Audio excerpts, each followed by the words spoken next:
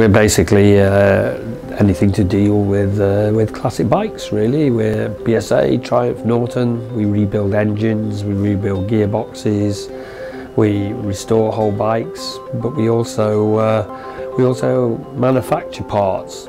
As soon as we saw a practical metallurgy course, it was like, yeah, we need something like that. Yeah, let's get on there.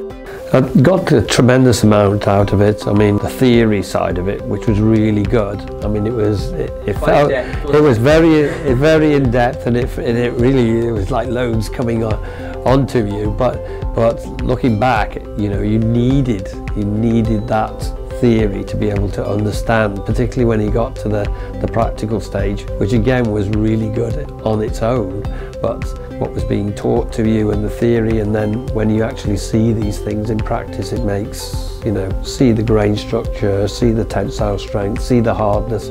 You can sort of refer back to the theory and you think, yeah, well, I know how that works now, why it's doing it, not just, just seeing the result having some experience of going on the course, it was a lot more, we did start to think, right, okay, let's have a look at what we're doing here in the business, let's have a look at these various things, things that we have uh, manufactured for us, which we just took for granted, that they are the right material or the right hardness or whatever. It's like we're questioning those again and saying, okay, you know, we know a bit more about it, we can ask them questions and so it, it all benefits for getting the right material for the job that we want to do.